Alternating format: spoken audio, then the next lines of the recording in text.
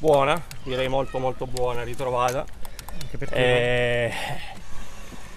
e niente, in salita stavo bene, però diciamo si è creata un po' quella situazione di corsa dove, dove sai, inizi a fare un po' di tatticismo. E poi ho provato anche ad entrare con, con, Daniel, con Daniel Ossi, siamo arrivati a 15 secondi più o meno, poi dietro hanno chiuso e in quel momento poi abbiamo iniziato a controllarci ed è, ed è finita la corsa. Ecco sì, a questo proposito Vincenzo diceva che c'è stata un'incomprensione tra di voi, nel senso che lui quando è rientrato Sì, tu perché interpretato come se lui avesse di fatto riportato sotto anche gli altri, insomma. beh, in effetti è stato così. Eh, ehm, Nel senso diciamo- che io con Daniel Ossi ero praticamente ormai nel mirino degli altri Sì, e soprattutto in salita sapevo che avrei comunque agganciato il gruppetto. Sì.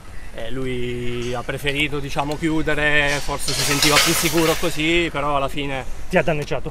Ma no, danneggiato Vabbè. me no, però Ah. diciamo che poi l'abbiamo un po' pagato tutti e due perché comunque, Mm. eh, ripeto, sono quelle situazioni di corsa dove, dove comunque c'è tatticismo, tutti i migliori si controllano e in un percorso così dopo 200 km succede, succede come oggi che non conta magari più la condizione ma conta anche appunto il tatticismo. Però è andata così, incomprensioni che capitano, dispiace perché oggi stavamo molto bene sia io che lui e, Potevate forse... e alla fine non abbiamo raccolto niente, però è andata così.